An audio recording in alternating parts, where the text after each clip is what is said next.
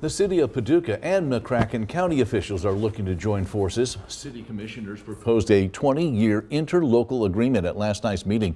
Right now, each government agency has its own comprehensive plan, which is required by the state to be updated every five years.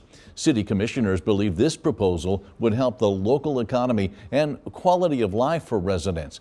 It would address topics like future land use, zoning regulations, and housing. It will take about a year to create that joint plan.